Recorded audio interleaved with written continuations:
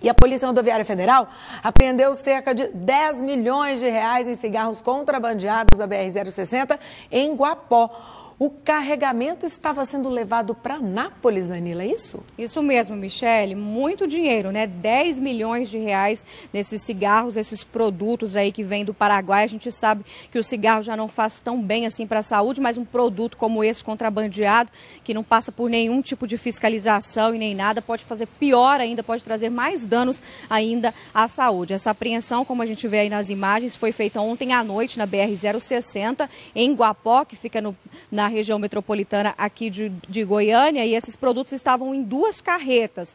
E os dois motoristas, homens de 45 anos, foram presos e essas carretas foram apreendidas e levadas para a Superintendência da Polícia Federal aqui em Goiânia. Olha, aconteceu o seguinte, lá na BR-060, a polícia estava fazendo abordagens lá no posto da polícia, né? Abordagens de rotina a caminhões, verificando a carga, quando perceberam esse caminhão aí lotado de cigarros contrabandeados vindos do Paraguai, como eu disse. E logo depois, instantes depois, uma outra equipe da PRF flagrou próximo a Pocelândia, distrito de Guapó, um caminhão bitrem lotado, né? Estava carregado, a lotação máxima, segundo a PRF, de cigarros também. Então, essas duas carretas vinham, segundo os motoristas contaram para a polícia, eles pegaram esses veículos em um posto de combustíveis lá no estado do Paraná e o papel deles era trazer esse material lá da fronteira do do Paraguai levariam até a cidade de Anápolis, onde esse produto seria entregue e comercializado.